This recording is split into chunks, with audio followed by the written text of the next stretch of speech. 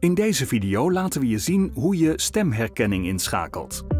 Wanneer je begint te praten terwijl je naar muziek luistert, detecteert je Galaxy Buds Pro automatisch je stem en zet de muziek zachter, zodat je de andere persoon duidelijk kunt horen.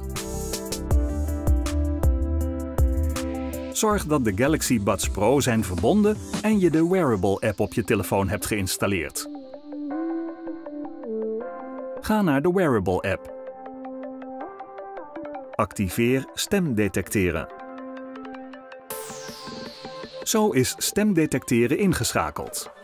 Op het moment dat je praat, wordt het omgevingsgeluid automatisch ingeschakeld en het mediavolume verlaagd, om gesprekken makkelijk te maken. Je kunt er ook voor kiezen na hoeveel seconden dit weer terugschakelt naar het eerdere mediavolume. Druk op stem detecteren. Selecteer het aantal seconden. De mogelijkheden zijn 5, 10 of 15 seconden. De stemherkenning is nu volledig ingesteld. Meer tips over het gebruik van Samsung? Abonneer je nu op Samsung You en bekijk wekelijks nieuwe video's.